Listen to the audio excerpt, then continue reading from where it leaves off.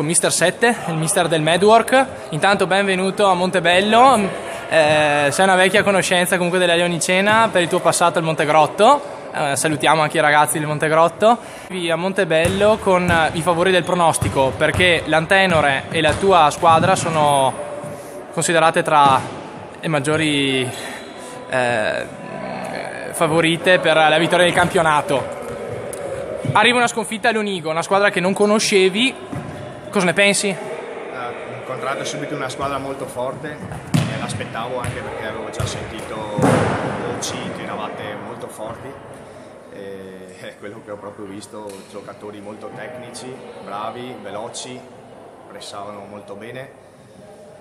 E ci avete messo tantissimo in crisi e non siamo riusciti a esprimere al meglio quello che avevamo provato in settimana, purtroppo. Complimenti a voi per questo, per aver fatto questa partita per averci messo così in difficoltà.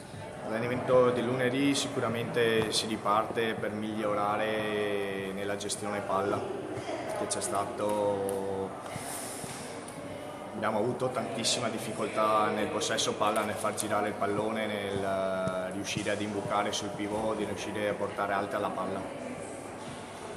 Dove può arrivare questo Medwork, anche se siamo alla prima giornata? È troppo presto per dirlo. Speriamo il più alto possibile. Dici una favorita per il campionato? Antenore. Arrivederci.